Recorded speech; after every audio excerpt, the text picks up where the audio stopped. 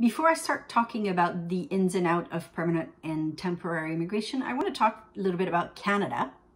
Um, Canada is known all over the world as a beautiful and cold country, uh, but I wanted to explain to you why it is such a good country to um, study into, to work, or to establish permanently or raise a family. So Canada is a very peaceful country and currently uh, there is a very sound economy. There are labor market shortage in every single province, uh, in, in pretty much every single industries. So that's creating tremendous opportunities for foreign nationals who want to work or immigrate in Canada. Um, Canada is also a very, very good country to raise a family.